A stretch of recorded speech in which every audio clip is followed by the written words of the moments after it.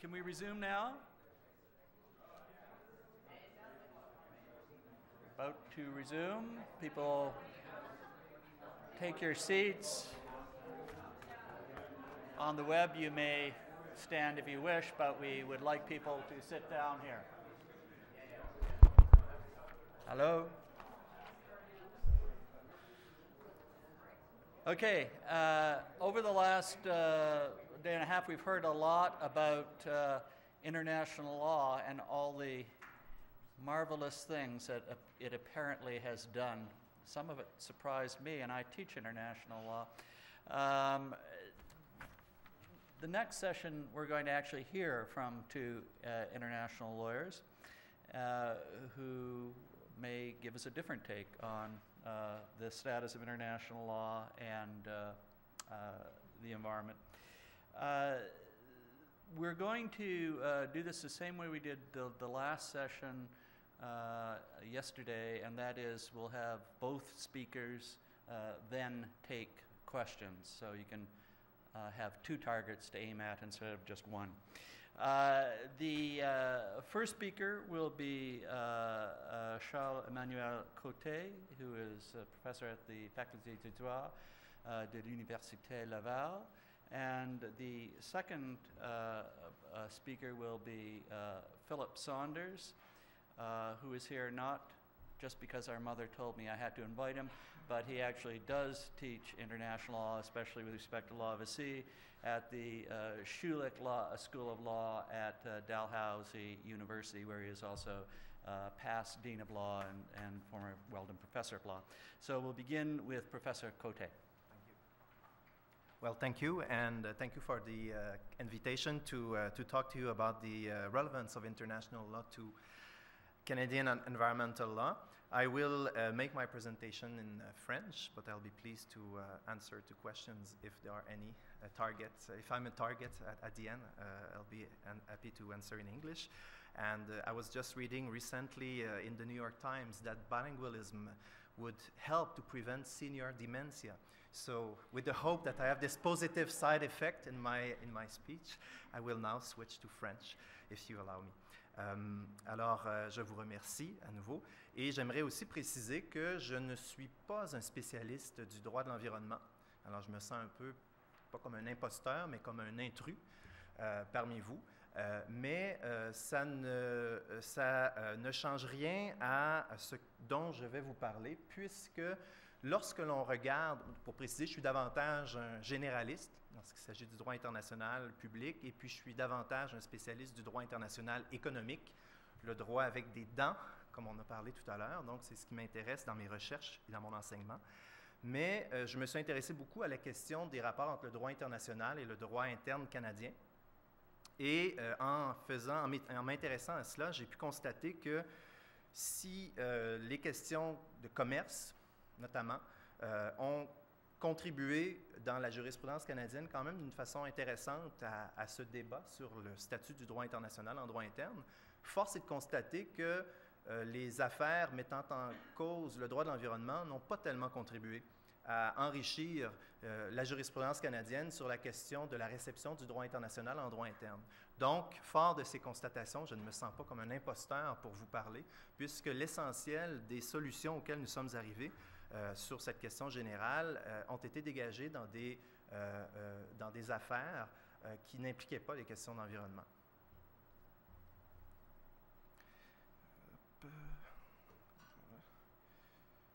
Alors, très rapidement, BABA quand même, lorsqu'on parle de droit international, on ne parle pas ici, pour les fins de notre discussion, de droit international privé, mais bien de droit international public c'est-à-dire des règles qui s'appliquent à la société internationale, société essentiellement composée d'États souverains et d'organisations internationales. C'est donc de ce droit dont on parle, le droit applicable donc euh, aux États, et plus spécialement, euh, je renvoie euh, pour les fins de notre discussion aux obligations internationales du Canada comme État souverain, donc le droit qui s'applique, qui lie le Canada au plan international en tant qu'État souverain. Donc, nécessaire de bien, de bien identifier d'où proviennent les obligations internationales du Canada. Alors, c'est un peu basique, mais ça vaut la peine de préciser puisque ça va servir d'armature à la discussion. Évidemment, la source La plus visible en droit international, ce sont les traités, les traités auxquels un État, le Canada en l'occurrence, va consentir de manière explicite. Et donc, c'est une des principales sources du droit international, mais il ne faut pas oublier non plus la coutume internationale, qui est plus difficile à saisir sans doute, surtout du point de vue du juge interne. Et la coutume internationale n'est pas une source écrite, c'est une source qui naît de la pratique des États, pratique considérée comme étant obligatoire pour les États, et c'est une source qui compte en droit international et qu'on ne peut pas ignorer complètement. Alors, euh, ceci étant dit, j'ai choisi, euh, dans la perspective euh, de, cet atelier, de ce workshop, de me situer, de situer la discussion d'un angle relativement pragmatique et de me situer vraiment sous l'angle du, juge. Comment le juge canadien peut-il utiliser le droit international? Ou, si on est un avocat devant un juge, comment peut-on invoquer ou utiliser le droit international devant un juge? C'est vraiment la perspective que j'ai euh, choisi de euh, euh, de, suivre avec vous cet, cet avant-midi. Il faut préciser quand même, lorsqu'on s'intéresse au traité, puisque le traité est une source euh, du droit international qui est, écrite et qui est plus facilement identifiable, encore faut-il se rappeler comment peut-on, comme État, le Canada, conclure un traité. Alors on sait qu'au Canada, malgré une certaine imprécision euh, de la Constitution écrite du Canada, la pratique est claire et c'est le gouvernement fédéral qui détient le monopole de la conclusion des traités. C'est lui seul qui peut engager le Canada au plan international. C'est lui seul qui peut soumettre l'État canadien à des obligations internationales. En disant cela, on exclut donc le Parlement fédéral, les gouvernements provinciaux, les parlements provinciaux. C'est bien le gouvernement fédéral qui, seul, jouit du pouvoir de conclure des traités pour le Canada. Intéressant de noter qu'avant l'accession du Canada à la souveraineté internationale, c'était Londres, le gouvernement impérial de Londres, qui concluait les traités pour le territoire du Canada. Et euh, la question n'est pas qu'anecdotique, puisqu'il y a encore quelques traces de ce, cet héritage colonial euh, que l'on constate actuellement. J'en reparlerai tout à l'heure. Donc, le gouvernement fédéral conclut les traités. Les parlements interviennent, et ça c'est bien établi en droit canadien, évidemment, les parlements interviennent au stade de la mise en œuvre des traités. Je reviendrai plus en détail sur ce qu'on entend concrètement par la mise en œuvre des traités. Je pense que lorsqu'on se situe dans la perspective du juge canadien, il est intéressant de distinguer globalement deux manières dont on peut utiliser le droit international devant un tribunal canadien. D'une part, on peut vouloir utiliser le droit international, que ce soit un traité conclu par le Canada ou la coutume internationale qui lie tous les États souverains et donc qui lie le Canada, on peut vouloir utiliser le droit international comme source de droit positif, comme fondement d'une réclamation juridique devant un juge. Mais ce n'est pas la seule manière dont on peut utiliser le droit international. Il y a aussi une autre façon dont on peut utiliser le droit international devant le juge canadien, c'est comme source interprétative du droit positif canadien. Et il faut bien distinguer ces deux hypothèses-là et euh, on va constater que la jurisprudence canadienne à l'heure actuelle, à l'heure actuelle pardon, est euh, euh, à certains égards confuse sur, sur la manière dont elle utilise le droit international. Et cette confusion se fait sentir jusqu'à la Cour suprême du Canada, il faut le dire. Donc, cette clé, droit international comme source de droit positif ou comme source interprétative, aide à clarifier la manière dont on peut utiliser le droit international d'une manière efficace devant un juge. Par ailleurs, j'aimerais aussi ajouter euh, que cette question de la réception du droit international en droit canadien, du statut du droit international en droit canadien, a connu un regain d'intérêt quand même important depuis une dizaine d'années, une douzaine d'années maintenant, euh, que ce soit dans la doctrine ou dans la jurisprudence. Et il y a une certaine impression de nouveauté parfois qui, euh, est associée à cette question. Et j'aimerais simplement euh, euh, préciser que ce n'est pas du tout une question nouvelle, que ça fait des siècles que les juges ont à se poser la question de la manière dont ils doivent utiliser le droit international.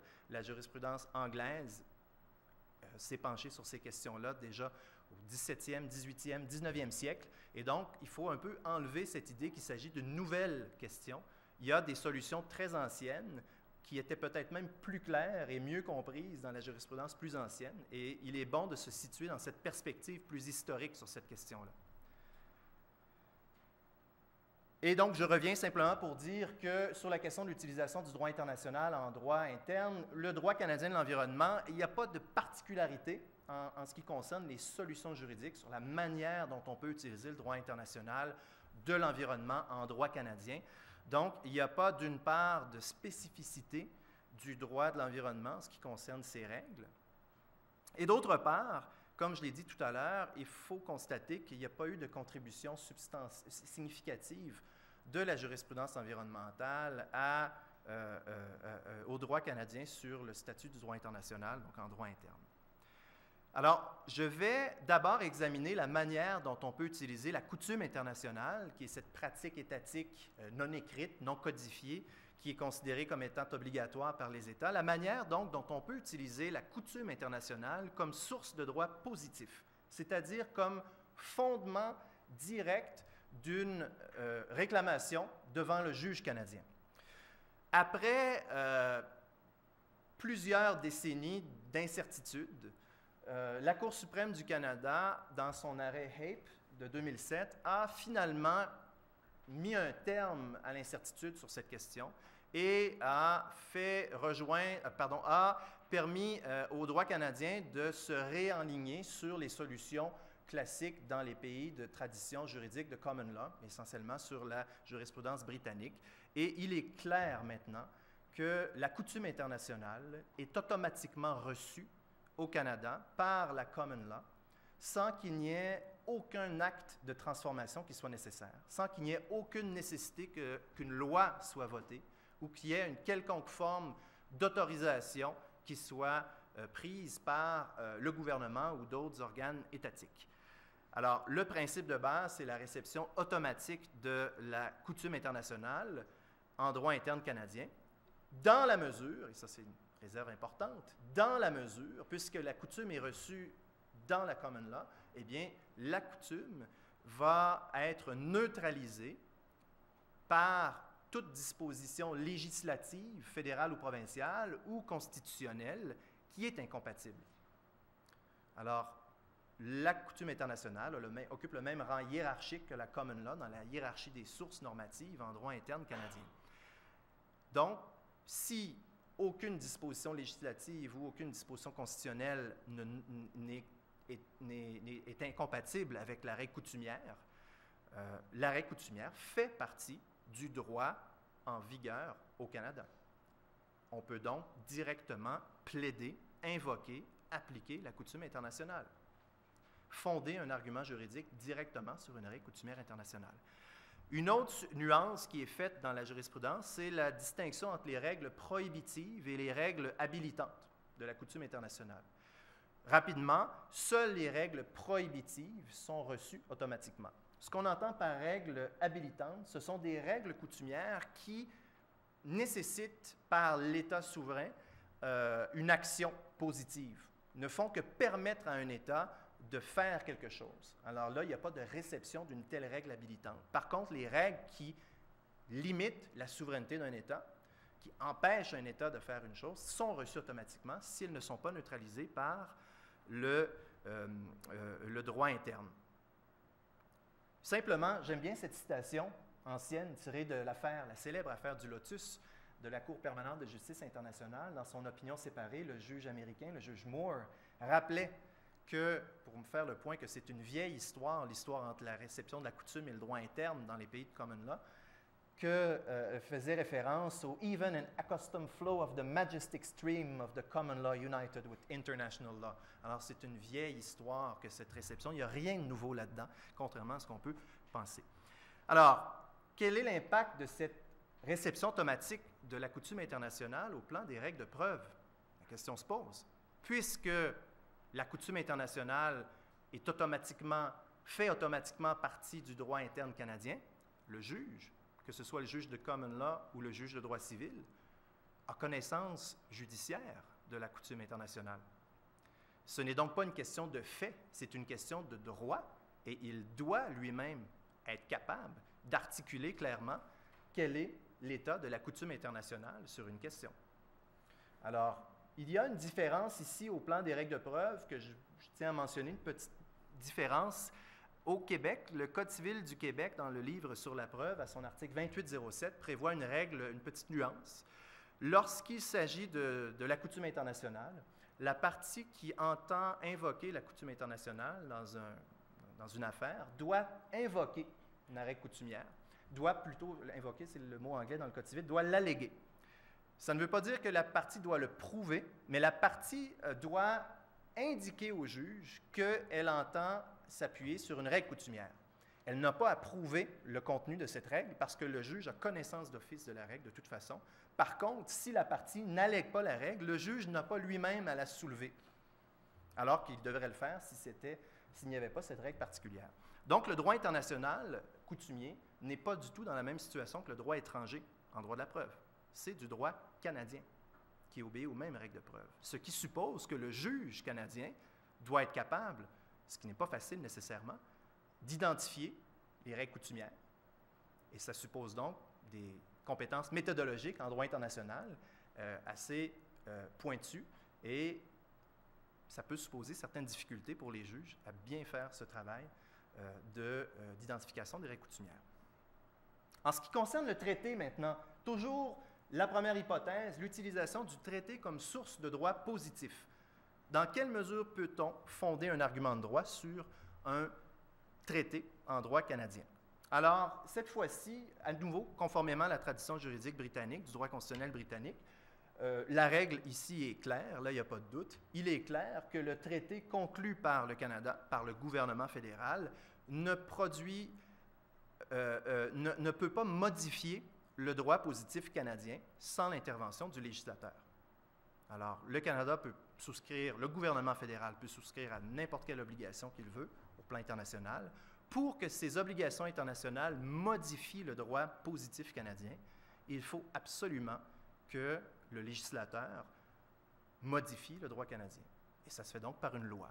La question qui s'est posée au début de la Confédération, c'était la question de savoir quel législateur. Question classique dans un État fédéral. La réponse est claire. Euh, dans l'avis sur les conventions de l'Organisation internationale du travail, l'avis célèbre du Conseil privé de Londres, du comité judiciaire, donc du Conseil privé de Londres de 1937, c'est le législateur qui est compétent sur la matière visée par le traité, qui est compétent pour modifier le droit interne pour euh, exécuter les obligations prévues par le traité. Là, on revient au traité conclu par Londres. Je vous parlais tout à l'heure des traités conclus par le gouvernement impérial. Il y avait une disposition, maintenant désuète, dans la Constitution, l'article 132 de la loi constitutionnelle de 1867 prévoyait que c'était le Parlement fédéral qui était le seul compétent pour modifier le droit interne lorsqu'il s'agissait d'exécuter les obligations internationales euh, euh, euh, prévues par un traité conclu par Londres pour le Canada. Il y avait donc une non-reconnaissance du partage des compétences pour ce qui est de la mise en œuvre des traités impériaux, des traités conclus par Londres. Et la raison pour laquelle j'en parle, c'est qu'il reste encore certaines traces de cela. Hein, on a, dans le domaine environnemental, je ne m'aventure pas trop loin, mais la Convention sur la protection des oiseaux migrateurs, qui est un traité qui a été conclu par Londres avant l'accession du Canada à la souveraineté. Et donc, si en vertu des règles normales du partage des compétences, on pourrait penser, et là je ne m'avance pas plus que ça, mais on pourrait raisonnablement argumenté que normalement, la compétence sur la protection de la faune de ces, espèces pourrait être normalement, en vertu du partage de compétences, une compétence des provinces. Puisque c'était un traité d'empire, c'est Ottawa, le Parlement d'Ottawa, qui a pu adopter une loi pour exécuter euh, les obligations prévues, prévues, par ce traité. Et ce traité étant toujours en vigueur, eh bien, c'est toujours la source de la compétence fédérale sur la mise en œuvre de cette de, cette, de ces traités. Mais bon, c'est un exemple un peu anecdotique. Il y a très peu de traces de cela à nouveau dans le droit positif. Je passe rapidement là-dessus. L'avis sur les conventions de l'Organisation internationale du travail, donc euh, le comité judiciaire a très bien fait la distinction entre les deux étapes, de, de euh, les deux étapes juridiques. C'est d'une part la conclusion de formation du traité et d'autre part la performance, ou si vous voulez, l'exécution des obligations prévues par le traité. Le premier euh, euh, la première étape appartient euh, au gouvernement en exclusivité. Par contre, lorsqu'il s'agit d'exécuter les obligations prévues par le traité, si l'exécution des obligations, et ce n'est pas toujours le cas, mais si l'exécution des obligations prévues par le traité suppose une modification du droit interne, là, il faut absolument intervention du législateur compétent. Donc, il faut clarifier ce concept de mise en œuvre. De quoi parle-t-on quand on parle de mise en œuvre? En anglais, on utilise souvent l'expression implementation. Il s'agit, au fond, d'exécuter les obligations prévues par le traité. Il y a plusieurs façons d'exécuter ces obligations. Ça ne suppose pas nécessairement de modifier le droit interne. Euh, s'il s'agit de modifier le droit interne, il y a plusieurs façons de le faire également. Et là, j'aimerais attirer votre attention sur une distinction importante à faire entre l'incorporation du texte d'un traité en droit interne ou non. Il se peut que pour modifier le droit interne et pour exécuter les obligations prévues par un traité, le législateur compétent, traité environnemental, le législateur compétent décide euh, d'adopter une loi qui va créer un régime législatif euh, qui vise à mettre en œuvre, donc mettre en place ce à quoi le Canada s'est obligé. Par contre, le texte du traité lui-même n'est pas du tout incorporé à cette loi. Et ça, c'est l'hypothèse la plus fréquente au Canada.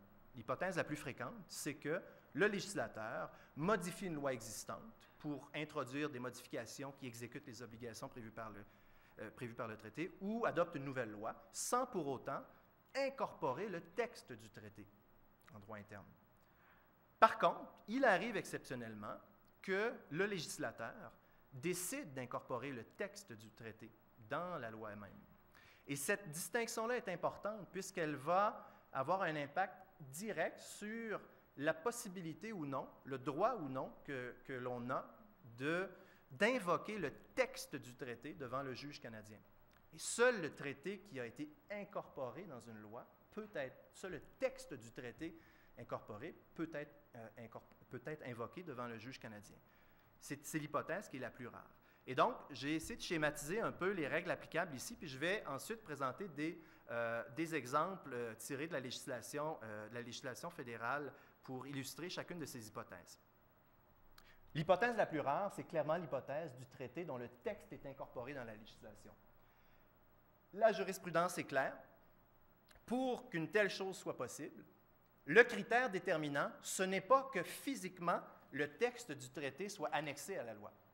L'incorporation du traité est un concept juridique. Il renvoie à l'intention claire et non ambiguë du législateur que le texte du traité soit incorporé en droit interne. Ce n'est pas parce que, en annexe d'une loi, vous avez le texte d'un traité que nécessairement il est incorporé. La jurisprudence a estimé que ce n'était pas suffisant. Il faut déceler dans une loi l'intention claire et non ambiguë. À l'inverse, ce n'est pas parce que le texte d'un traité n'est pas annexé qu'il n'est pas incorporé. Tout réside dans l'interprétation de la loi et de la découverte de cette, intention claire et non ambiguë d'incorporer le traité. Si le traité, le texte du traité est effectivement incorporé, il peut donc être directement, il est applicable, le traité, les dispositions du traité sont directement applicables en droit canadien, font partie du droit en vigueur au Canada et peuvent servir de fondement à une réclamation devant un juge canadien. À l'inverse, l'hypothèse la plus fréquente, c'est l'hypothèse où le législateur, pour exécuter, pour mettre en œuvre le traité, pour exécuter les obligations prévues par le traité, c'est l'hypothèse donc où le législateur choisit plutôt de modifier la législation existante ou euh, d'adopter une nouvelle loi. Dans un tel cas, on ne peut pas invoquer le texte de ce traité directement devant le juge canadien comme fondement d'une réclamation juridique. Tout ce qui existe en droit canadien comme source, c'est la loi ou les modifications législatives qui ont été invoquées.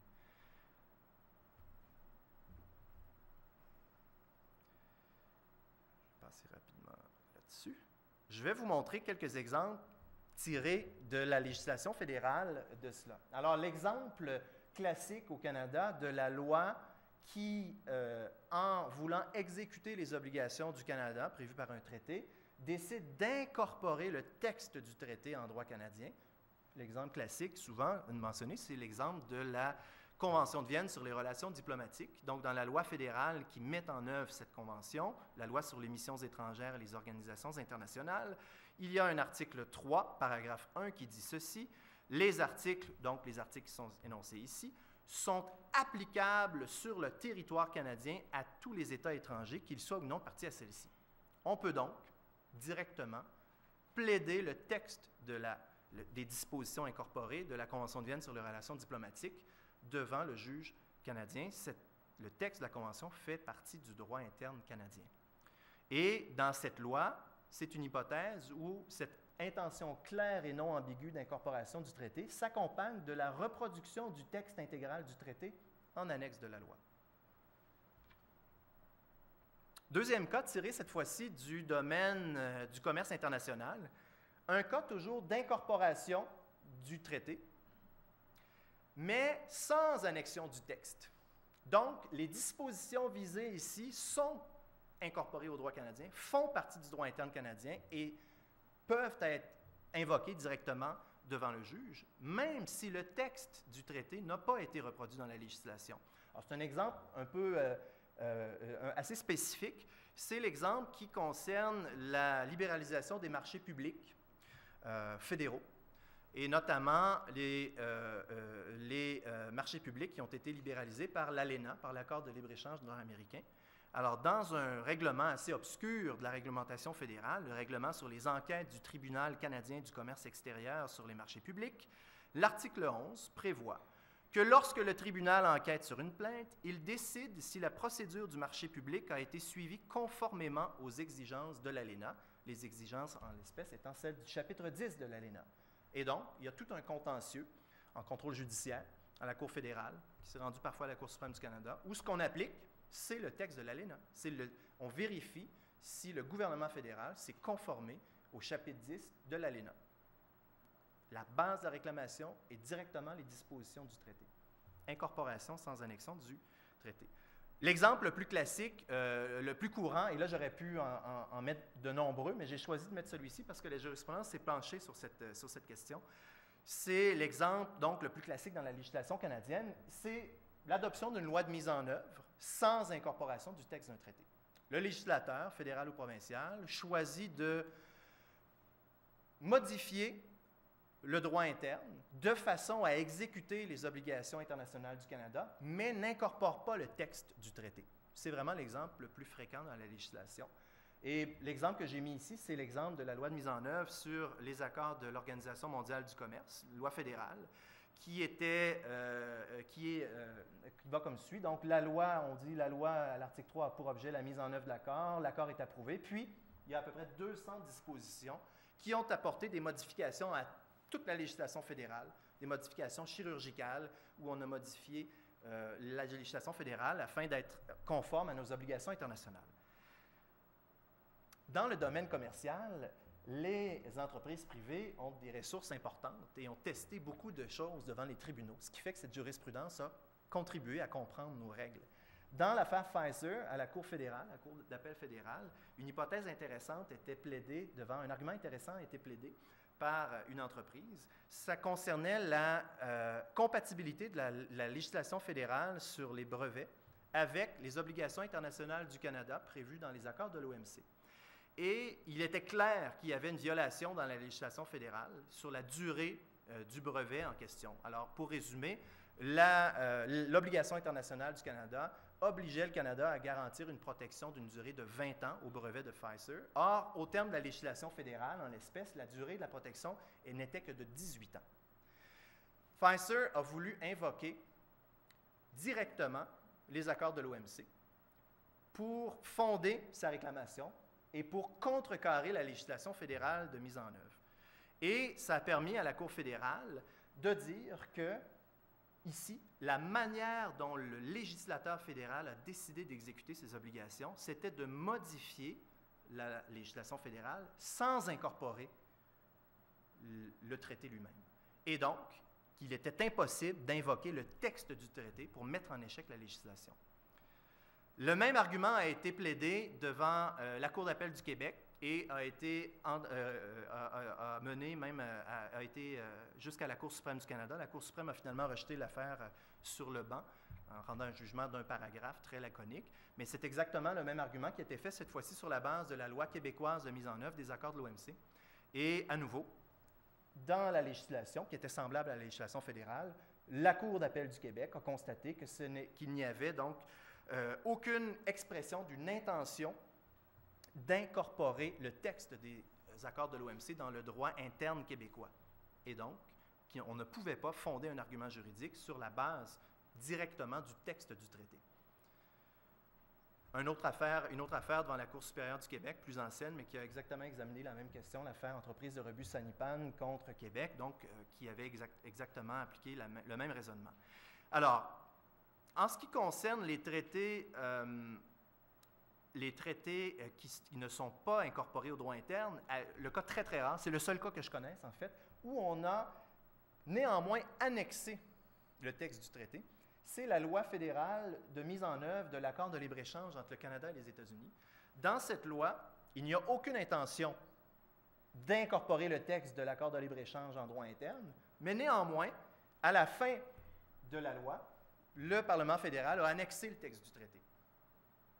Mais à nouveau, cet exemple-là permet d'illustrer le fait que ce n'est pas parce qu'on a annexé le texte du traité qu'automatiquement il faut déduire une, intention claire et non ambiguë d'incorporer le texte au plan juridique en droit interne canadien. Alors, j'accélère là-dessus, donc ça c'est ce que j'ai ici, et je vais terminer dans les quelques minutes qui me restent, parfait, avec le deuxième euh, aspect de la question, c'est-à-dire l'utilisation du droit international comme source interprétative du droit positif canadien. Il est extrêmement important de ne pas perdre de, ne pas perdre de vue cette utilisation que l'on peut faire du droit international. On peut oublier complètement ce dont nous venons de parler. Il ne s'agit pas ici de se servir d'une obligation internationale du Canada devant un juge canadien comme vraiment fondement d'une réclamation, euh, d'une réclamation. Il s'agit plutôt d'interpeller les obligations internationales du Canada comme instrument d'interprétation du droit positif interne. Et c'est ici où il faut être bien conscient qu'il n'y a rien de nouveau sous le soleil avec cette, utilisation du droit international. Ça fait des siècles qu'on fait ça dans la tradition juridique euh, de common law, dans le droit constitutionnel britannique, etc. Alors, la Cour suprême du Canada nous le rappelait dans l'affaire Capital Cities en 78. Le juge Pigeon nous rappelait, dans une opinion concordante, que ce, que ce serait simplifié à outrance que de dire que les traités n'ont aucun effet juridique à moins d'être mis en vigueur, mis en œuvre dans une loi. Alors, il y a un principe d'interprétation qui existe depuis fort longtemps et qui a été rappelé dans l'affaire Hape en 2007 par la Cour suprême du Canada, comme faisant toujours partie évidemment du droit canadien, c'est le principe d'interprétation conforme. Ce principe, solidement ancré en droit euh, canadien, en droit de tradition britannique, est un principe qui oblige, il ne s'agit pas de facultatif, de je peux, si j'ai envie, me référer à la force convaincante du droit international. Le juge canadien est obligé, lorsqu'il interprète une loi canadienne, fédérale ou provinciale, il est obligé de choisir l'interprétation qui est la plus compatible avec les obligations internationales du Canada. Cela vaut tant pour les obligations prévues par un traité que pour les obligations prévues par la coutume internationale. L'idée sous-jacente est, que l'on présume que le Parlement ne veut pas violer les obligations internationales du Canada. Présomption qui a beaucoup de sens. Donc, le juge est un gardien, un garde-fou qui vise à empêcher des interprétations qui iraient à l'encontre des obligations internationales du Canada. Ce que ce principe n'est pas, par contre, ce n'est pas un principe qui permet de modifier le droit interne. Il s'agit bien d'interpréter. Si la législation est claire et qu'elle va clairement à l'encontre des obligations internationales du Canada, souveraineté parlementaire, le juge doit appliquer le droit en vigueur au Canada. Ce principe n'est qu'un principe d'interprétation. Par contre, le juge jouit d'un large pouvoir d'appréciation dans l'application de ce principe. Un, c'est lui qui détermine quelle est l'étendue de l'obligation internationale du Canada. Deuxièmement, c'est lui qui détermine s'il y a violation patente ou non de l'obligation internationale du Canada. Alors, concrètement, dans l'application de ce principe, le juge a beaucoup de marge de manœuvre. Et dans toutes les affaires qui ont mis en cause l'application du principe d'interprétation conforme, je, devrais dire dans presque toutes les affaires, il y a toujours au moins une opinion dissidente, des opinions concordantes, et les juges ne s'entendent jamais sur l'interprétation à donner à l'obligation internationale du Canada ou sur l'existence ou non d'une contradiction entre la législation et l'obligation internationale du Canada. Alors, il y a beaucoup de marge de manœuvre pour le juge dans l'application de ce principe. Le principe vise tant les traités qui ont fait l'objet d'une loi de mise en œuvre que les traités qui n'ont pas fait l'objet d'une loi de mise en œuvre. C'est vraiment un principe qui renvoie aux obligations internationales du Canada, les traités conclus par le Canada et les règles de coutume internationales. Donc, dans l'arrêt HAPE en 2007, la Cour suprême a, au paragraphe 53, dans mon, dans mon texte écrit, j'ai mis la référence, a clairement rappelé que ce principe faisait partie du droit canadien. Il existait une certaine controverse au Canada, et je vais terminer là-dessus, ou presque. Euh, C'était la question de savoir si, avant de pouvoir recourir au principe d'interprétation conforme, le juge canadien doit constater une ambiguïté dans la législation. Et là, la Cour suprême du Canada, en 1990, dans l'affaire National Corn Growers, a euh, euh, amené une précision importante. Elle a estimé que lorsqu'il s'agit d'interpréter une loi, à la lumière du traité que cette loi vise à mettre en œuvre, on n'a pas à se poser la question de savoir est-ce que la loi est ambiguë? Le juge peut immédiatement se référer au traité mis en œuvre pour mieux comprendre la loi. Parce qu'il y a une relation plus intime entre la loi et le traité. Qu'en est-il des autres hypothèses? Hypothèses d'interprétation d'une loi qui n'est pas une loi de mise en œuvre. Faut-il constater d'abord une ambiguïté? Eh bien, dans la jurisprudence antérieure à l'affaire HAPE, la Cour suprême du Canada a toujours rappelé qu'il y avait un, critère, une condition préalable d'ambiguïté. Cependant, dans l'arrêt HAPE, la Cour suprême n'en a pas parlé. Puis, j'ai fait l'étude des affaires euh, subséquentes qui, qui, ont appliqué le principe d'interprétation conforme. Puis, la jurisprudence des tribunaux inférieurs continue souvent d'appliquer le critère d'ambiguïté.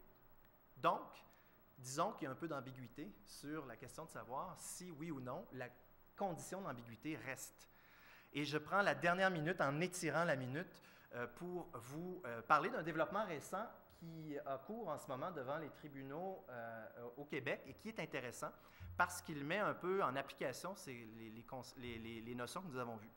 Alors, comme vous le savez, le Canada a dénoncé le protocole de Kyoto. Et comme vous le savez, le Parlement fédéral a voté en 2007 une loi de mise en œuvre du protocole de Kyoto. Il faut savoir que cette loi a été votée par les partis d'opposition contre la volonté du parti gouvernement. Reste que c'est une loi qui, était, qui est adoptée et qui est en vigueur, qui est toujours en vigueur. Eh bien, il y a une requête en contrôle judiciaire qui a été introduite le 13 janvier 2012 devant la Cour fédérale à Montréal pour faire annuler la dénonciation du protocole de Kyoto par le Canada. L'argument juridique étant que, puisqu'il y a une loi de mise en œuvre du protocole de Kyoto, le gouvernement a perdu la prérogative euh, royale de conduite des relations internationales en ce qui concerne précisément la capacité de dénoncer le protocole de Kyoto. C'est une affaire qui est intéressante. J'en parle à la fin parce que, euh, évidemment, euh, le gouvernement, le, parti, le parti qui a dénoncé le protocole de Kyoto est maintenant majoritaire et donc il pourrait tout simplement abroger la loi ce qui pourrait mettre un terme à l'affaire, mais ça pose des questions intéressantes pour ceux qui s'intéressent à cette question. Est-ce que le simple fait d'adopter une loi de mise en œuvre suffit pour retirer au gouvernement sa prérogative de conduite des relations internationales ou pas? Ou est-ce qu'il faut vraiment une disposition très claire? Parce qu'il n'y a rien de clair dans la loi. J'ai mis les extraits.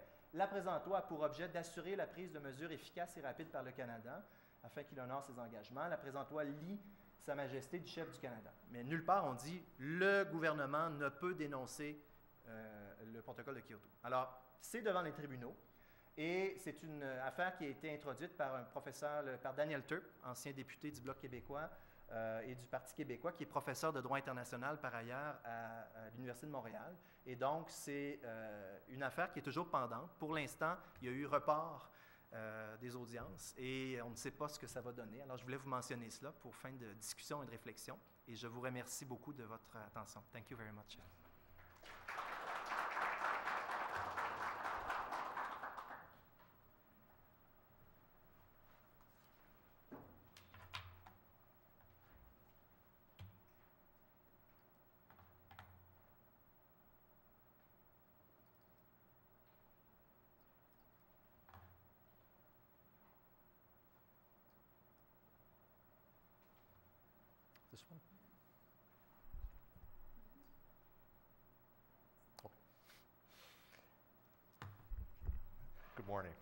And I'm not quite sure how to begin other than to uh, thank uh, CIRL, uh, Environment Canada, and apparently my mother for the invitation. So, whatever the source, I'm uh, very pleased to be here.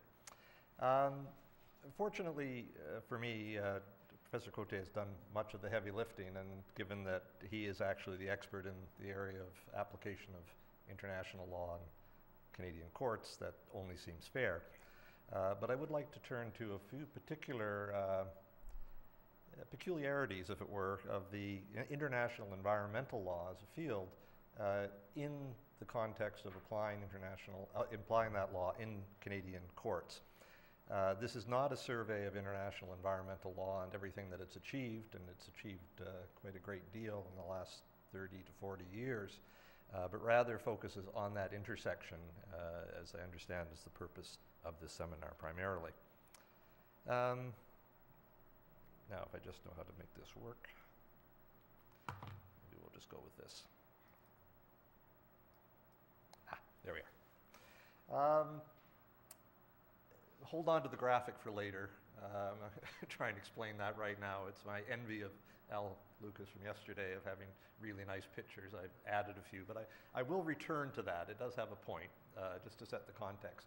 I'm going to look in, uh, at, this topic in a few very general areas. First, uh, a quick recap, uh, because the ground has been covered very much in detail, but a bit of a recap on incorporation and application of international law uh, in Canadian courts.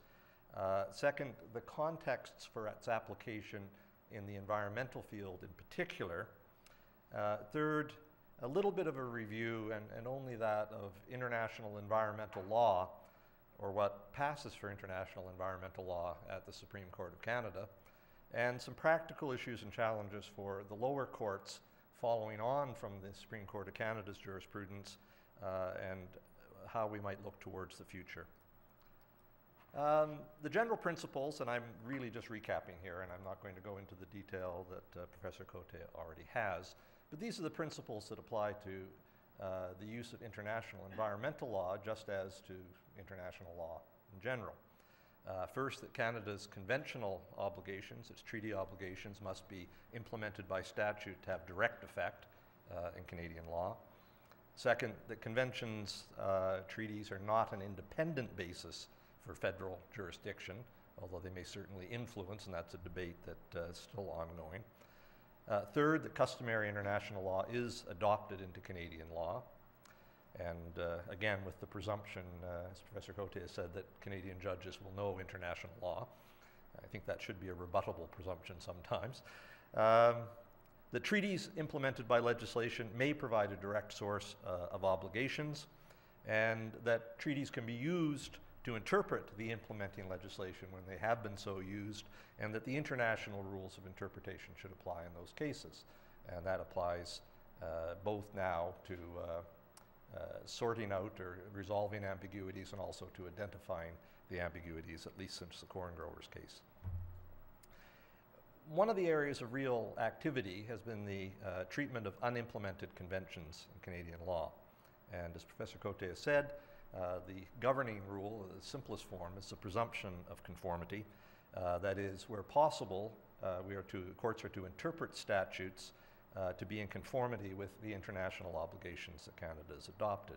And I find this both in Baker and in Hape. But of course, the legislature may legislate explicitly to the contrary.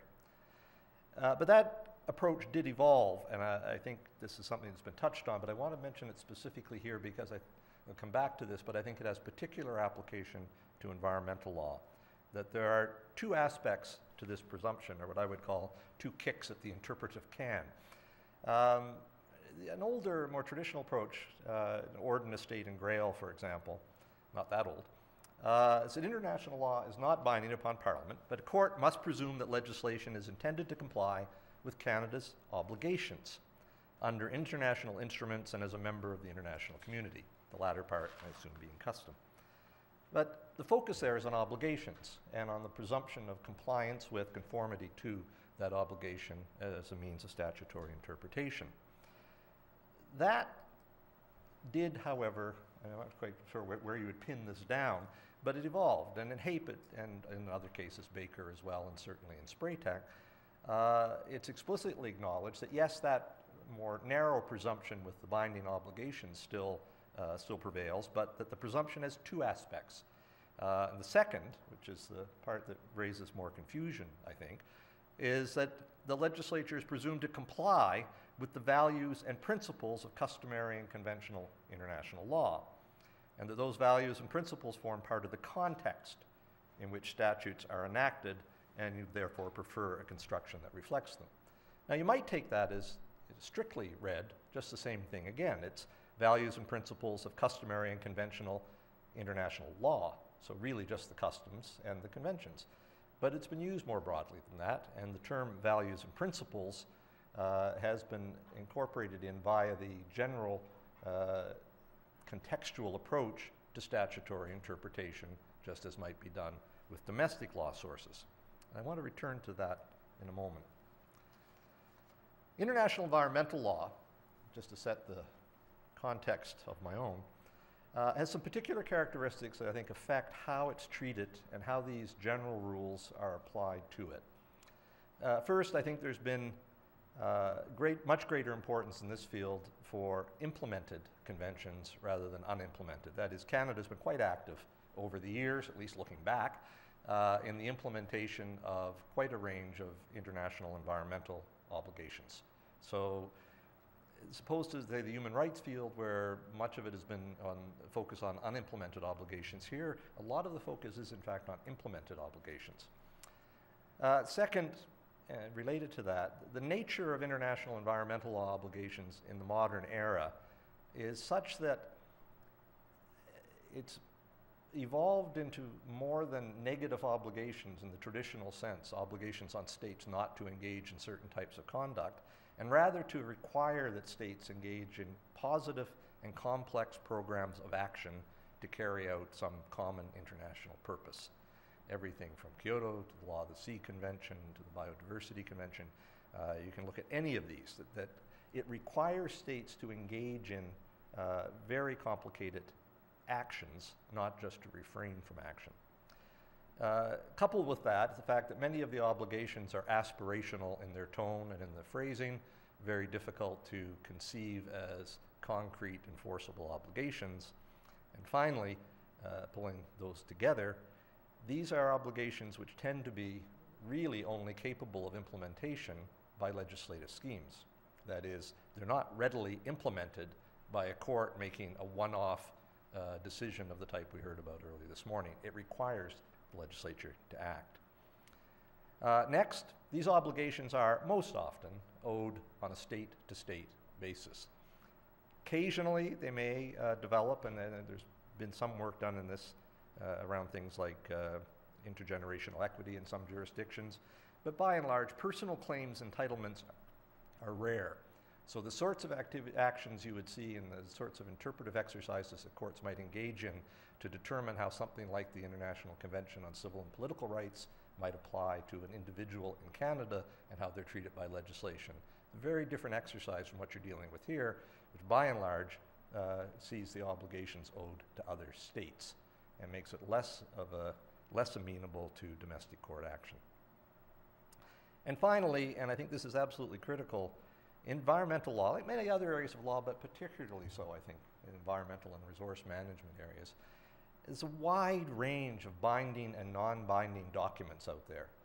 Uh, sovereign states, we may not like the notion of, of, of, sovereignty when it impedes action, but I've always found that one's sovereignty, uh, sovereignty only doesn't matter when it's somebody else's sovereignty that's being affected, it seems.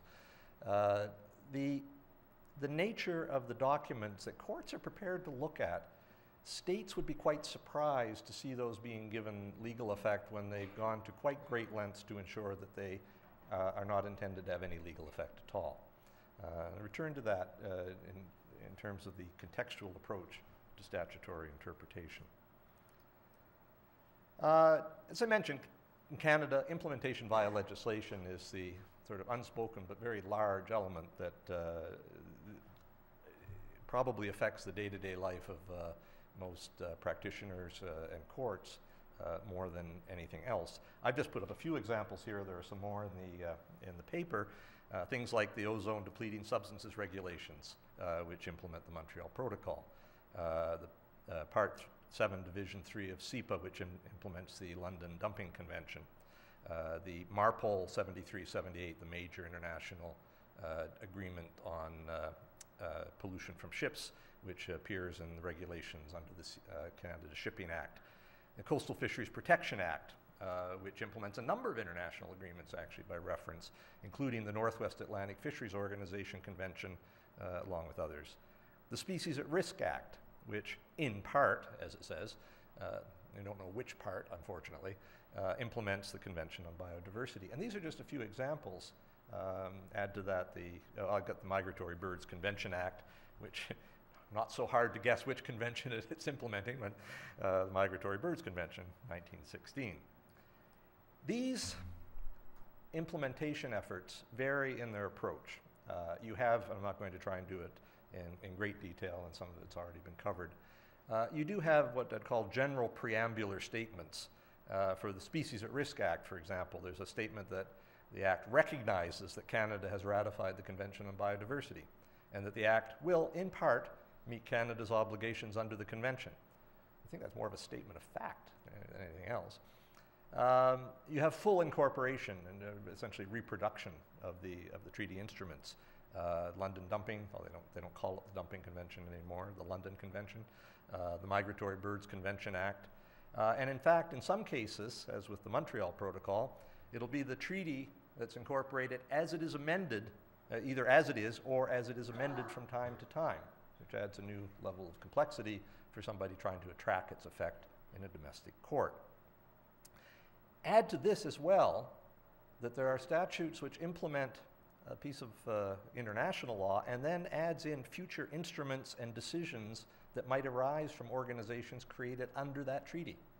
So, for example, in the coastal fisheries regulation, which I mentioned, there's a range of provisions whereby, for example, uh, the Northwest Atlantic Fisheries Organization, or NAFO, when it produces its annual schemes and uh, management uh, and conservation plans, those are brought in by reference under the Act. Uh, even more complicated, this will give you an example of uh, how wide ranging the inquiry has to go.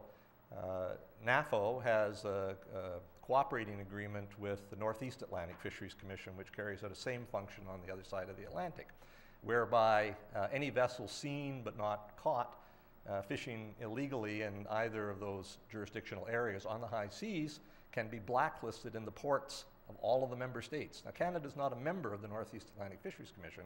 We are a member of NAFO, but we've had ships barred from entry and servicing in our ports because of acts they committed under the Northeast Atlantic Fisheries Commission, all via reference uh, under this statute, which is not immediately apparent on the face of the statute and requires onward reference to the documents of the organization. Uh, the ozone regulations, which includes decisions that might be made by the organization, by the international organization itself in the future. Those are given effect uh, by reference and on a forward-looking prospective basis. Um, I think this raises some issues of interpretation, how those non legalistic documents like management schemes and conservation schemes are to be interpreted. And we had a discussion about this just beforehand. I've been pointed in a direction that I think may help with that. Uh, but it is an interesting problem uh, to, for an average court confronted with this sort of complexity to track down exactly what the obligations are. Now, on judicial application of international environmental law, and I won't explain this picture yet either, I just will say it's not a three-person panel of the Alberta Court of Appeal or anything like that. It's a, it is a movie reference, which some people might get. Um, and I will explain why it's there. Can you see that? No. It would, perhaps by the time, it'll be coming back. So. Um, I want to look at, uh, and this is only a selection, but several cases in the Supreme Court of Canada ranging from Crown Zellerbach in 1988 to the Spraytech case, which has been talked about a lot already, uh, all at the Supreme Court of Canada.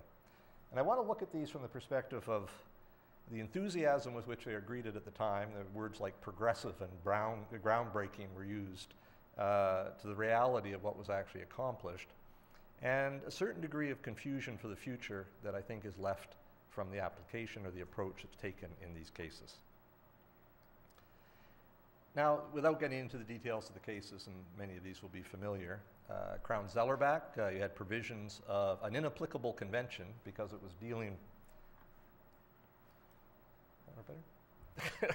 okay, make a little more sense now. Um, I, I, the London, this was the dumping convention, actually, ocean dumping uh, provisions. Uh, the actual case applied to provincial internal waters, uh, internal waters of Canada, and the convention didn't actually apply in those areas. So you had, in, in fact, uh, an inapplicable convention being used as evidence of the fact that dumping was a distinct and separate form of water pollution, contributing to the notion of a single and indivisible matter, matter of national concern. Use of the international law, but not as law as such, and other scientific documents were used for the same purpose. Uh, the Oldman River case, which was referred to earlier, uh, 1992, uh, dealing with the statutory uh, validity and mandatory uh, nature of the uh, environmental assessment guidelines. the, here we had a second-hand reference to the Brundtland report, and the WCED. That is, the reference was actually to a Council of Canadian Ministers of Environment and Resources, whichever the title was. Uh, but they had referred onward to the Brundtland report about the importance for integration of economic and environmental concerns. So, not law, not actually directly applied. And in fact, if you go through the case, there's no mention of international law as such, although it was you know, always included in this package. Canadian Pacific, it's also been referred to in 1995. The vagueness of a term, inter alia, but on this point, uh, the notion of use of natural resources. And again, the court looked at international materials, but it was an international report of legal experts who had proposed a definition of the use of natural resources uh, as a term. And this was seen as evidence that the term was capable of legal definition for the issue that was before the Canadian court. Again, no international law as such. Hydro Quebec, 1997, uh, we had the criminal law power uh, in which the court, uh, Justice La Forest, looked to the views of the World, uh, again, World Commission on Environment and Development. Um, there were actually at the time quite contrary views floating around the international community, but this is the one that was picked up uh, on the appropriateness of criminal sanctions and the nature of sanctions. He also adopted, or used rather, international scientific reports on the importance and significance, the health risks from PCBs, on an equal footing to what the World Commission was saying. And in the end said, and I'll quote this, I am confident that Canada can fulfill its international obligations by use of the criminal law power. And the only small gap was that judgment never actually identified any international law obligations that stood to be implemented by the use of that power. Well, I guess if you thought about it as a prospect for the future, should any such obligations come along, then we'll be ready to implement. Uh, and finally, Spraytech in uh, 2001 the reference to, and I guess the debate, uh, confirmation of, uh, acknowledgement of, uh, the, the, language is unclear, what is referred to as international law's precautionary principle. Now, I think the possessive term, international law's precautionary principle, indicates that L'Heureux-Dubé was at least being positive about the notion that it had been adopted into international law. There are some questions as to why the formulation of the Bergen Declaration should be used as opposed to the later formulation under Rio Declaration, uh, perhaps because it accentuated the idea that maybe Canada had somehow or other bought into this. Um, that might have been weakened somewhat by the fact that Canada had in the interim gone before the WTO panel and argued positively that uh, the precautionary principle wasn't a principle of customary international law, but that, that didn't make it before the court. Uh, the, the conclusion, if there is one, was that the bylaw in question, the, the, municipal pesticide bylaw, fit within the tenets of the precautionary principle. Those tenets are never defined. Um, and therefore, the proposed statutory interpretation was consistent with the values of international law and policy, as opposed to in compliance with international law, say. Now, a few general observations on what these decisions actually did. First, and I think it's pretty clear, there wasn't much by the way of actual adoption of international law in these decisions or its application in Canada. It's accentuated by the fact that in some cases the words international law never actually appear in the decisions. Uh, second, Where it does appear, it is generally, I believe, as a, of a secondary application that is buttressing or confirming a decision that's already been made uh, based on the available statutory and constitutional doctrines that were already before the court. Uh, that is, it's the sort of thing you throw in at the end uh, as a justification. The exception to that, I believe, would be the gradual evolution of the notion that um, fundamental values and principles of Canada include protection of the environment, sustainable development, and related matters. And that was a background thing, but never explicitly attributed to the international level, particularly. At third, I think that these cases, as with others that have followed, have tended to use the second branch of Baker and Hape, if it can be called a branch, that is, international sources, not necessarily law, as part of the context, the general context of statutory interpretation. Now, this is where I get to explain the picture. This, it's actually Olympus, not Olympus. Uh, there's a, an issue here for other courts, I believe. Uh, the problem of this broad approach to finding a context for statutory interpretation from the Olympian heights of the Supreme Court of Canada. And uh, careful to say that it's not exactly as illustrated, so just in case anybody questions which judge that might have been.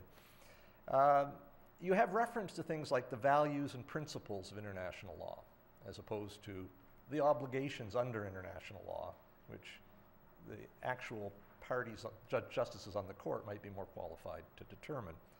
And references to international law and policy as part of the context within which these statutes ought to be interpreted, divorced from any identified binding obligation. So clearly crossing into that second branch, with the possible exception in Spraytech, if you believe that the precautionary principle was a binding rule of customary international law at the time, which would be controversial, then you might have seen it as part of the first branch. This, I think, is somewhat more difficult for those in lower courts who don't have the benefit of no appeal above them uh, and the ability to pronounce on what the context is that really matters. And there may be some value, at least, even allowing for our desire to bring in broad principles that have not been fully developed in international law. There's some value in precision and a hierarchy of sources of international law in its application in the domestic courts, I think. Now here's the explanation. Oh, we're fine. of the other picture. If you didn't recognize the three, or if you can't see it in the lighting, these are the three criminals from The Princess Bride. Um, and Vizzini, the, the criminal mastermind on the left, was constantly coming up with schemes that were being thwarted. And every time he was asked, Don't you think this is going to go wrong? his answer was, Inconceivable. To which his compatriot said, That word you use, I do not think it means what you think it means. I found this remarkably useful in marking law school exams, actually. that's part of the problem with some of what these discussions have engaged in. Take a look at the actual quote in Spraytech, where they're quoting the Driedger, Sullivan's uh, text on statutory interpretation as the source for this uh, advance. Is that the legislature is presumed to respect the values enshrined in international law, both customary and conventional, pretty clearly restricting it to the legal obligations. These constitute a part of the legal context in which the legislation is enacted and read. So these values and principles are to be preferred. But if you read the whole extract, it's referring at the start to binding obligations. From that, in Spraytech and others, we go to some concept of freestanding values and principles that can be divined from international policy in general. And I think there's a certain amount of imprecision in that. Some of the difficulties become apparent in, in cases that have tried to follow on. Um, the environmental defense uh, case, is the, uh, the DACE, uh, DACE, is it? The, the minnow. Uh, habitat designation decision under SARA and a judicial review case with the complexities that that brings. But in this case, uh, the federal court gave real weight to Canada's commitments, as they called them, under the Convention on Biodiversity. Um, but the question that you have after, if you read through how it's being done, you have to ask, was this done as an interpretation of a binding obligation? Because remember, the convention part is partly implemented, by SARA according to the preamble, but you don't know which parts. Is it a rebuttable presumption of conformity with a, some unimplemented portion of the CBD? Because, of course, Canada can choose to implement some part of a treaty, and the other part that remains unimplemented would still be subject to the presumptive conformity rule. Or is it part of the broad statutory interpretation context, where whatever wanders before the ken of the court becomes the important part of the context? Or is it D, all of the above, the all purpose LSAC question? And in that case, I think it was all of the above in some way. Uh, this is a quote actually from the pleadings, uh, the applicant, but adopted uh, with wholehearted approval by the court. The convention is a binding treaty. SARA was enacted in part to implement. So, okay, seems to be a binding treaty that we're going to interpret according to the treaty. Uh, furthermore, the convention is part of the entire context to be considered in interpreting the SARA. So, maybe part of the broad contextual approach. And not only must, therefore, must be construed to conform to the values and principles of the convention.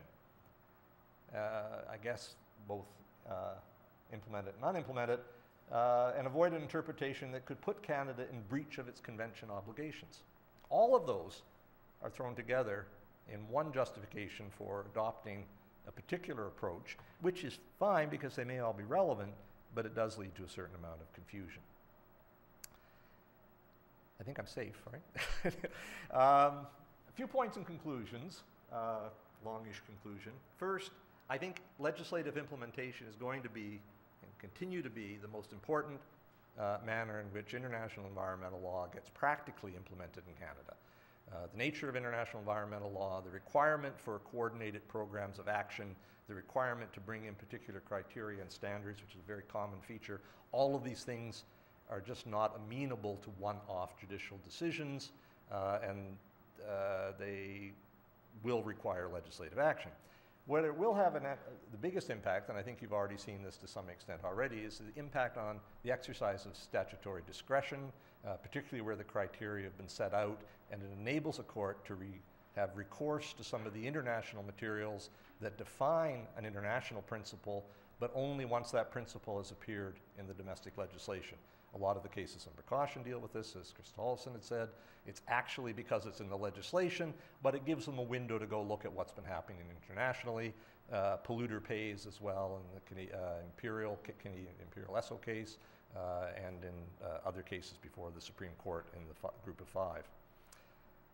Second, I think there are going to be some, continue to be some practical evidentiary uh, questions which will bedevil the pleadings in particular. Uh, as Professor Côté said, courts are presumed to know international law. Um, but we've also had the tradition, perhaps not fully adopted in, in formal terms, of allowing expert evidence uh, to assist the court, particularly on customary international law. Um, that makes possible some awareness of the change and evolution in international law over time uh, because there is such change. It, it's impossible, for example, to turn to what the Supreme Court said about Spraytech and say that must be the rule of customary international law now, because the rule on precaution may very well have changed in the meantime, and it's the current rule that ought to matter.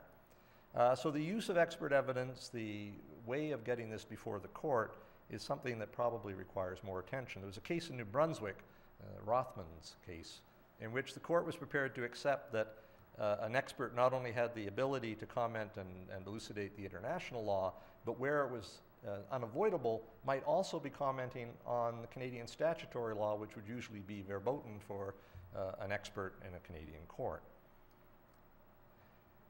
I think there's more discussions to be had around this notion of context as it's emerged as a domestic statutory interpretation approach.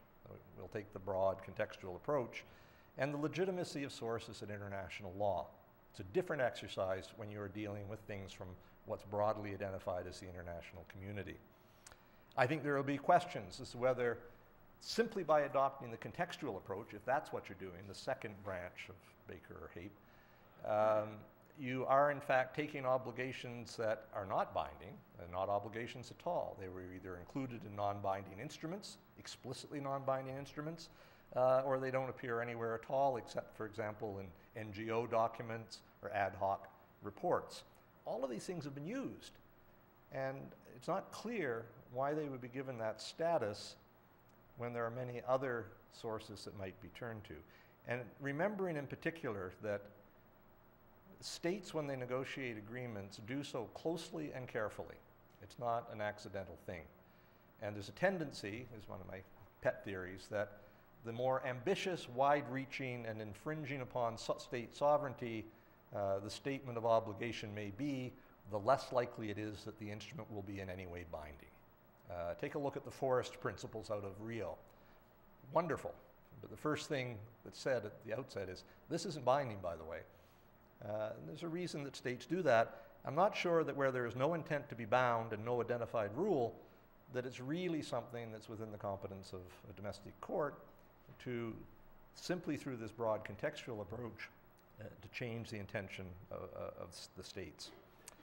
And uh, on a point that, that, came up earlier today, the notion of judicial dialogue, I think, is important to this. Uh, it's a very current thing, the notion that uh, courts engage in judicial dialogue on a transnational basis with other courts, but also with other institutions. And that's important. That's why our courts would be wanting to look at what Australia did with precaution, for example, if they're ahead of us, or Philippines on intergenerational equi uh, equity, or whatever. There is a and a sense in which judicial dialogue will advance the cause of international law. But I think you have to at least be able to answer well, the dialogue with whom? Is it with another court? Is it a formal international organization? Or is it with some loose agglomeration of organizations with no accountability who've decided to pull together and make a statement about something? So, who are you talking to? And the second, dialogue about what? Is it about law? Is it about emerging uh, scientific consensus, which is an evidentiary matter? Is it about senses of policy? So, a, a legitimate question for the court is in addition to who are you talking to, what are you talking about? I should say I'm not advocating that as an actual phrasing that you might want to use before a court. That's probably not the best form of advocacy. So, I'll leave it at that uh, and conclude with the only bad hair day picture that I was able to find, is Lord Denning, uh, going back to Professor Lucas, uh, and his statement uh, from the Trendtex case in 1977, and I would use of international law the words which Galileo used of the earth, but it does move. And customary law in particular continues to move, and the courts are going to continue to try to deal with that. Thank you.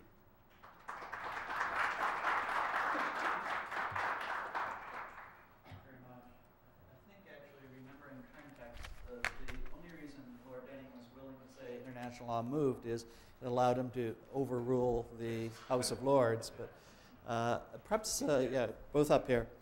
Um, two very good presentations, and uh, we'll take uh, questions. Uh, there's one already here. Um, while we're getting that, I'd, I'd, like to throw the cat amongst the pigeons. Um, let's suppose that there is a, a, rule of customary international law related, and suppose it's a prohibitory rule, uh, relating to the environment. Suppose the province of Alberta decided it didn't like that rule. Could it legislate in violation of a customary rule of international law, which would then, of course, throw Canada into breach? Uh, I think this is not something that's been decided by the courts, but you basically have, I think, two choices. One, labor conventions, that it extends to custom, and the other, uh, Justice La Forest, actually, when he was an academic, expressed a view that no, that would be impermissible. The federal government can, can violate customary international law, but because the province would be throwing the country into breach, it couldn't.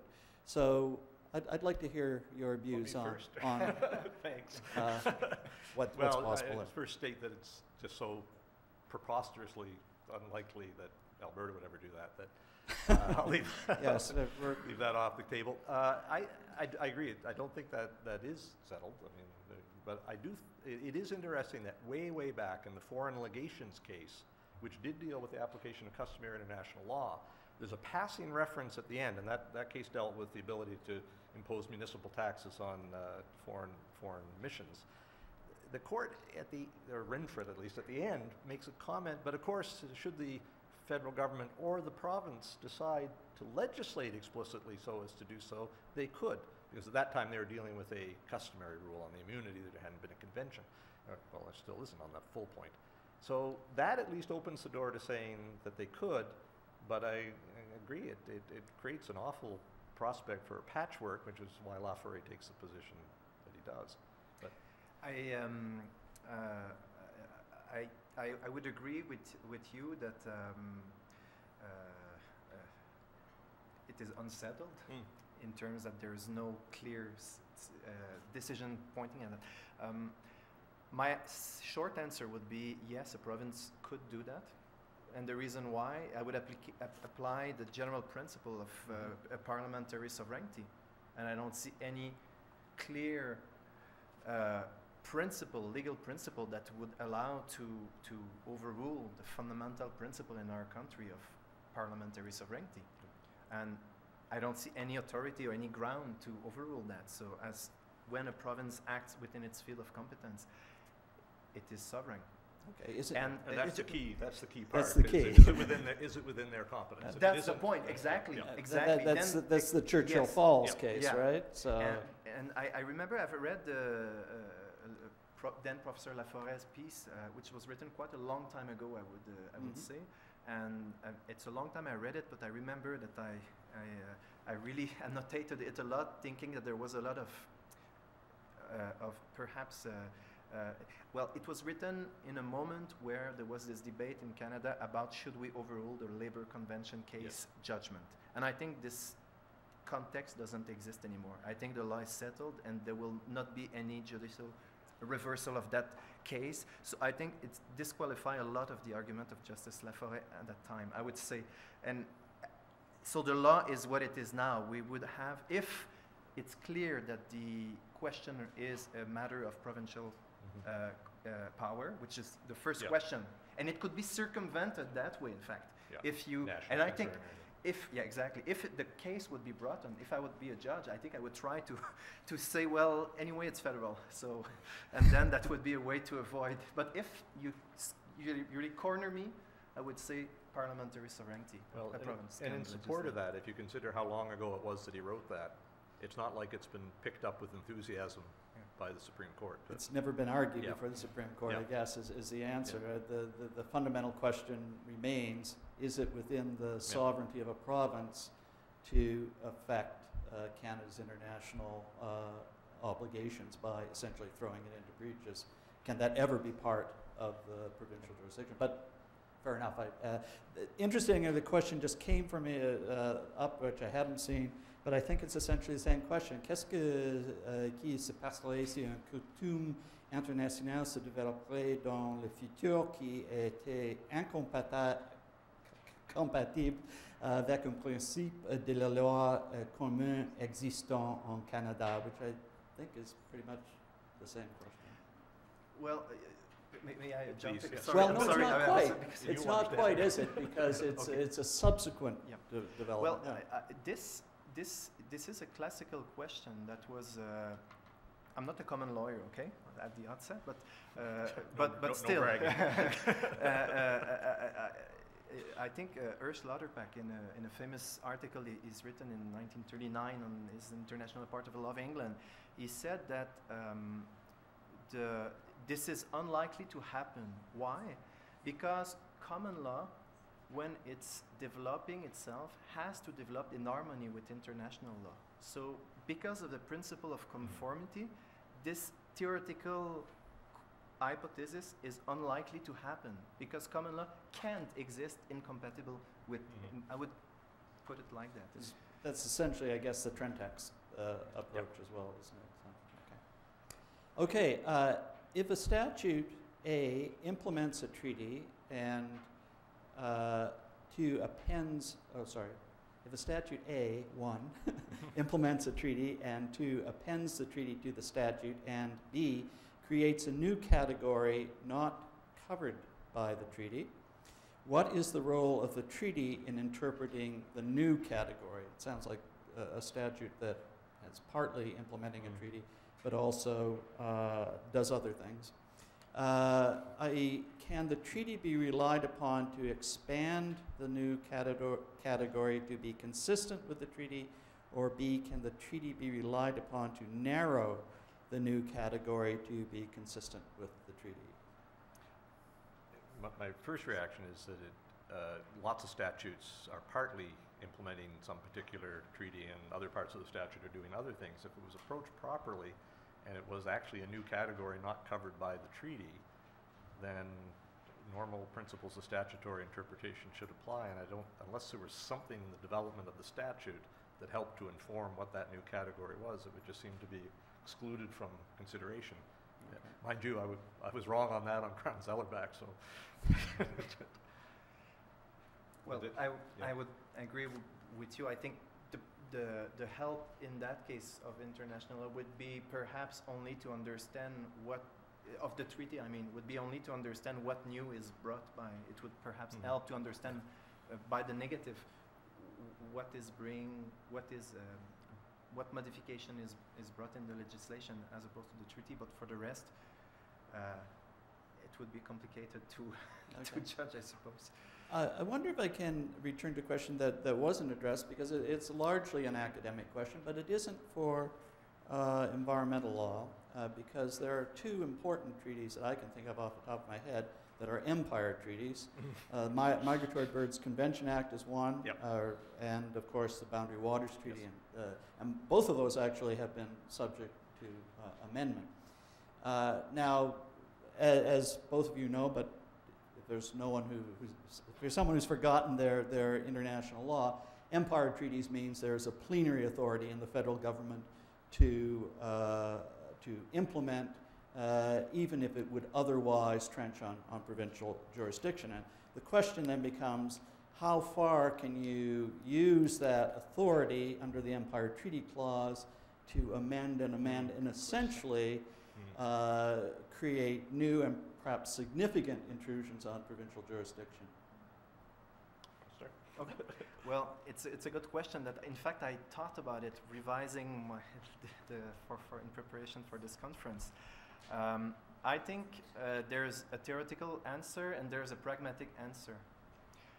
The pragmatic answer would be if such a question would be put before a judge, I think uh, there would be a fair argument to make that it has become within federal jurisdiction based on distribution of power rules, national interest branch, for instance. And you could you could you could you could basically answer that it is now within federal le- legislation based on the criteria of, for instance, the national um, uh, dimension branch of uh, peace, order, and good government. First thing. Second thing, then I, I, we, I don't think we have a lot in Canadian law of help in, in the case of, uh, as to what is within the original, uh, uh, uh, what, what is an, uh, a modification that does not alter the fact that we're still acting under the authority originally. However, now my, my international trade law thing would bring in something just to finish. Just the mic. I Oh. I'm sorry. Yeah, uh, there, was in the old GATT, GATT 1947, a lot of uh, uh, uh, of what we can say case law. Uh, because uh, on, on similar issues, because there was a grandfather clause that said that uh, and um, uh, legislation that was enacted before the GATT was immune, immunized from the GATT obligations. And of course, the issue was always have we altered the legislation to such a point that it's not anymore? And so it's a little bit similar, and there was a lot of reasoning. So by analogy, maybe you want you there would be a use externally to go check in that, but in I'm not aware of anything in Canadian law that would be of any help on how to to s- where to set the limit of Yeah, to, modification. to the extent that there's a hint, uh, I, I think it supports your position. That theoretically, yes, if you add something new to the treaty, then that's a new agreement, and amendments can be a new agreement, so perhaps it shouldn't be. But by the time you've been running an integrated scheme of something like migratory bird management or whatever, eh, you could argue, I think you're right, that uh, it's a, by this point it's become national concern and you value of an integrated scheme, and you would maybe be able to argue some of the reasoning in Crown Zellerbach to support that. Mhm. That it's not so much the treaty itself now, it's the fact that the previous Empire Treaty made it a matter of this nature that can only be done as one integrated whole at the national level. Now, if they stuck in the Migratory Birds Convention Act that, you know, bird shall include elk or something, you know, I- you might just sort of. Okay. Um, uh, a question from the web. I agree with your point that questions can be raised about the methodology used by the Supreme Court in Spraytech to discern the state of customary international law with respect to the precautionary principle. You allude, I think this is you, Philip, you allude to the use of expert evidence as a means of bringing more rigor to such determinations. How do you see this working in practice, especially on appeal? And how does this jibe with the presumption that judges know the law? Well, the presumption part is, is simply, I, I think the response, and we discussed this earlier, is a pragmatic one, is that it's been allowed. But if you look at cases like, uh, well, Bouzari, for example, when it got to the Court of Appeal, they continued to discuss the experts. Uh, and they had access to the expert opinions that had been provided. They reviewed those accordingly. Uh, I was involved in a case myself recently in Nova Scotia, where as one of the experts on a motion uh, with regard to immunity, uh, uh, not, a, not of a state, but of an international organization. And the, that was part of, our opinions were part of the record that went up to the Court of Appeal, and the Court of Appeal happily returned to the expert opinions as well as the lower court judge in, in the decision that they made. I think that would be the practical way to deal with it. Okay, we have come precisely to where we want to be, which is 12:15. Uh, I thank both our speakers. Very Yes. nice to meet you. And we will return at uh, did on purpose, 1:30. Did not Tres stress too much trente. on the big uh, secondary because I don't like it. you cut me. Oh.